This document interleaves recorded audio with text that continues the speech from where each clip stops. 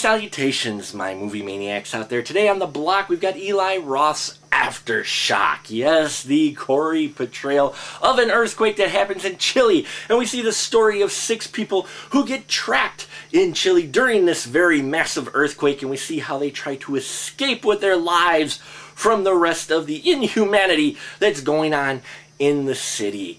Oh, Aftershock. Now, when I saw the trailers for this, I'm like, oh, this looks like an interesting twist on the standard earthquake story, you know? And, and for Eli Roth as well, this isn't your standard, like, meant to be horror, horror like a horror slasher film. This is more of a horrific events type of film. And we get to see how horrific humanity becomes when it it gets pushed into these extreme situations. And let me tell you, this earthquake is very extreme. Now, we spend the first chunk of the film getting to know our characters, but much like Hostel, I couldn't really, you know, didn't really care about these characters.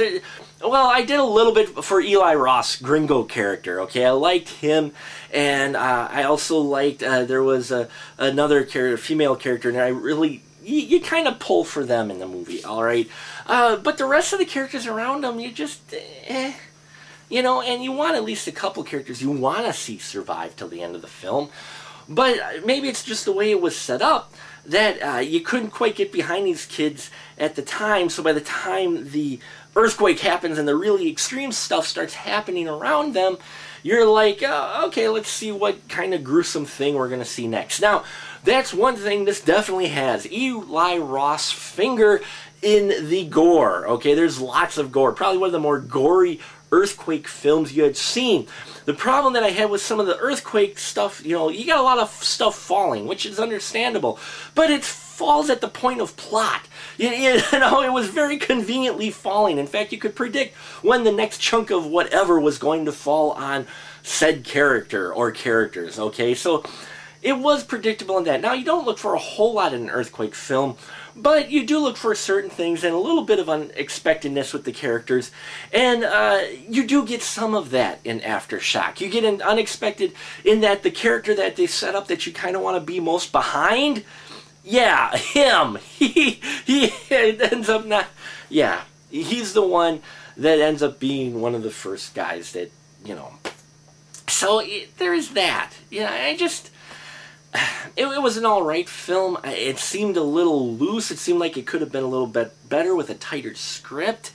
Uh, all the good kind of gory things that happens were in the trailer and then when we get near the end of the film there's a twist with one of the characters that is introduced during the earthquake and it just didn't make sense of why that character suddenly did that okay it, it almost felt forced like wait they go through all this and this person does that now. You, you know, it, it, almost felt just inserted like, oh, we have to do something here. Either they wrote themselves into a corner or they were just trying to figure out, you know, what next. And you don't have the really character arc of one of the characters really getting strong till the very, very end either. Up until then, it's not really expected. So, you know, it's a meh.